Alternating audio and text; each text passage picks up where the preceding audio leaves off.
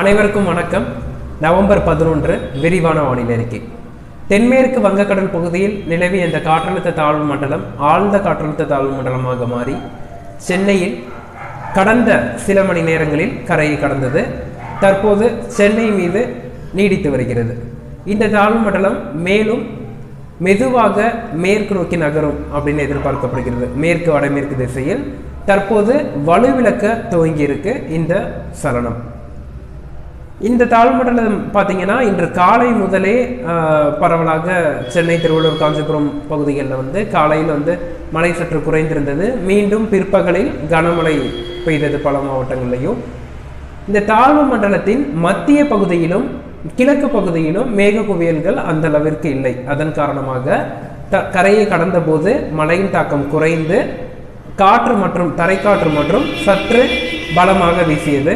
குறிப்பாக சொல்லணும்னா நவம்பர் பதினொன்று இன்றைய தினம் பிற்பகல் மூன்று மணி முதல் ஐந்து மணி வரையிலான காலகட்டத்தில் முழுமையாக கரையை கடந்திருக்கு இந்த தாழ்வு மண்டலம் அப்படின்னு நம்ம எடுத்துக்கலாம்.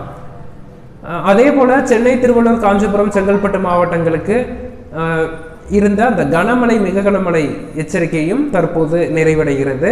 இன்று காலை வரையிலான கடந்த இருபத்தி நான்கு மணி நேரத்தில் தாம்பரத்தில் இருபத்தி மூன்று சென்டிமீட்டரும் சோழவரத்தில் இருபத்தி இரண்டு சென்டிமீட்டரும் எண்ணூர் பகுதியில் வந்து இருபது சென்டிமீட்டர் மழையும் பதிவாயிருந்தது.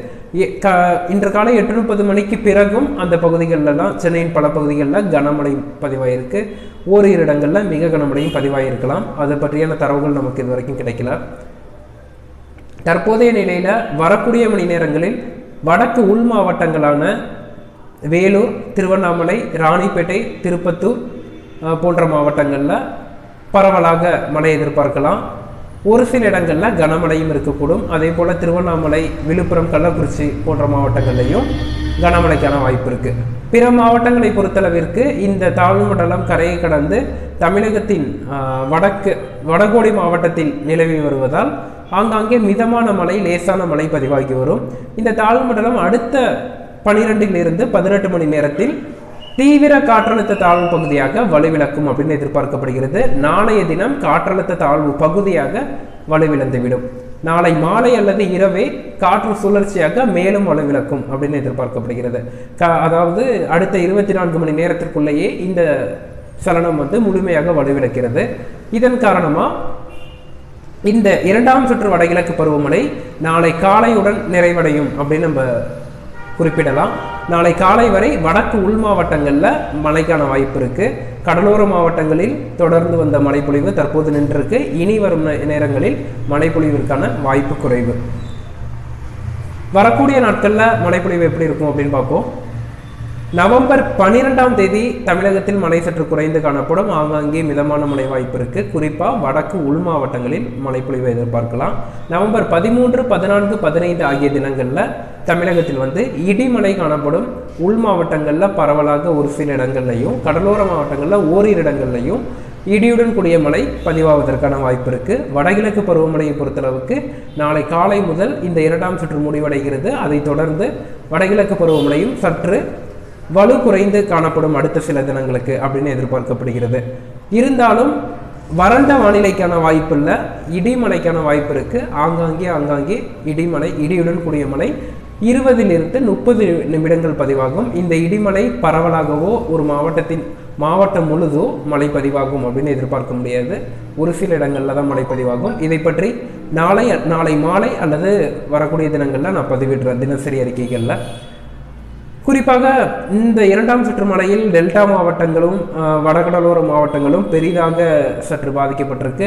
பல இடங்களில் விவசாய நிலை நீர் விவசாய நிலங்கள் வந்து தண்ணீரில் மூழ்கி இருக்கு ஸோ இந்த இரண்டு அடுத்த வர வரக்கூடிய சில தினங்கள் வந்து மழை குறைந்து காணப்படும் அப்படிங்கிறது மிகவும் அவசியமானது. இந்த தினங்களில் தேவையான நடவடிக்கைகளை மேற்கொள்ளுங்க. குறிப்பாக வந்து வடிகால்களை சரி செய்வது தண்ணீரை வடிவமைப்பதற்கான பணிகளை வந்து துரிதப்படுத்துங்க. பிற விவசாய பணிகள் வேளாண்மை பணிகளையும் நீங்கள் வந்து தொடர்ந்து ஈடுபடலாம். தமிழகத்தின் அனைத்து மாவட்டங்களையுமே. இந்த இடிமலை வாய்ப்பை பொறுத்தளவுக்கு தினசரி காலை வெளியிடக்கூடிய அறி அறிக்கைகளில் எந்தெந்த பகுதிகளில் இடிமலை வாய்ப்பு இன்- அன்- அன்றைய தினம் எதிர்பார்க்கலாம் அப்படிங்கிறத பற்றி நான் தினசரி பதிவில் பதிவிடுறேன். அதே போல அடுத்த சுற்றுமலை எப்போது துவங்கும் அடுத்த தாழ்வு பகுதி எப்போது உருவாகும் அப்படின்னு பல கேள்விகள் வந்துட்டு இருக்கு. நவம்பர் பதினான்காம் தேதி அல்லது பதினைந்தாம் தேதி புதிய காற்றழுத்த தாழ்வு பகுதி தெற்கு அந்தமான் மற்றும் அதையொட்டிய தென்கிழக்கு வங்கக்கடல் பகுதியில் உருவாவதற்கான வாய்ப்பு தெரிகிறது. நாளை அல்லது நாளை மறுநாள் அந்த சரணம் பற்றி நான் ஒரு அறிக்கையை வெளியிடுகிறேன். கண்டிப்பாக பதினான்காம் தேதி தான் தெற்கு அந்தமான் பகுதியிலே தாழ்வு பகுதி உருவாவதால் அந்த தாழ்வு பகுதி நகர்ந்து தமிழகத்திற்கு அருகே வரும். வருவதாக இருந்தாலும் வருவதற்கு இரண்டு மூன்று தினங்கள் எடுத்துக்கொள்ளும். அதனால் அடுத்த சுற்று மழை துவங்குவதற்கு சற்று தினங்கள் இருக்குது தற்போது உடனடியாக அடுத்த இரண்டு மூன்று நாட்களையோ இல்லை பதினைந்தாம் தேதியோ பதினான்காம் தேதியோ துவங்குவதற்கான சூழல் தற்போது நிலவவில்லை. இடியுடன் கூடிய மழைக்கான வாய்ப்பு தான் தெரிகிறது அடுத்த சில தினங்களுக்கு. அதன் காரணமாக அந்த மூன்றாம் சுற்று மழை பற்றியும் அடுத்த தாழ்வு பகுதி குறித்தும் இரண்டொரு நாட்களில் நான் வந்து ஒரு காணொளி பதிவிடுறேன். நன்றி. மீனவர்களுக்கான அறிக்கையை பொறுத்த பொறுத்தளவுக்கு நாளை முதல் மீனவர்கள் வந்து கடலுக்கு மீன் பிடிக்க செல்லலாம். குறிப்பாக அனைத்து பகுதிகளிலுமே தமிழக மீனவர்கள் அனைவருமே கடலுக்கு மீன் பிடிக்க செல்லலாம். நாளை காலை வந்து இந்த சலனம் மேலும் வலுவிழக்கும் அப்படின்னு எதிர்பார்க்கப்படுவதால் மீனவர்களுக்கு அறிவிக்கப்பட்டிருந்த எச்சரிக்கை வந்து நாளை காலையுடன் விலக்கிக் கொள்ளப்படுகிறது. நாளை காலை பத்து மணிக்கு பிறகு கண்டிப்பாக கடலில் வந்து தரைக்காற்றின் பாதிப்போ எந்த ஒரு தயக்கமோ தேவையில்லை. நன்றி.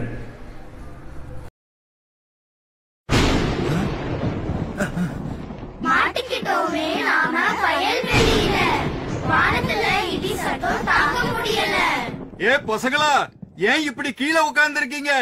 அண்ணாமலை மாமா பாரு அங்க ஒதுங்குறாரு மரத்து மேல மின்னல் விழுந்தா காயப்பட போறாரு. மழையில நனையாம இருக்க வேற என்னதான் பண்றது? அங்க இங்க நிக்காம கூரைக்கு கீழே கூரை எதுவும் இல்லைன்னா இப்படி கீழே உட்காரு மின்னலுடன் கூடிய இடி சத்தம் கேட்கும் போது நீங்கள் ஒதுங்க இடமில்லாமல் திறந்த வெளியில் இருந்தால் தரையில் அமர்ந்து இப்படி காதுகளை நன்றாக மூடிக்கொள்ளவும். முக்கியமாக உங்கள் குதிகால்கள் ஒன்றை ஒன்று தொட்டுக் கொண்டிருக்க வேண்டும். மின்னல் தாக்கும் அபாயம் உள்ளவைகள் உயரமான மரங்கள் மின் கம்பங்கள் மின் கம்பிகள் நீர் நிலைகள் என்பதை மறக்காதீர்கள். ஆகவே அவற்றிடம் இருந்து விலகி இருங்கள். விழிப்புடன் இருப்போம் தயாராக இருப்போம். வழங்கியவர்கள் தேசிய பேரிடர் மேலாண்மை மற்றும் தமிழ்நாடு பேரிடர் அபாய குறைப்பு முகமை.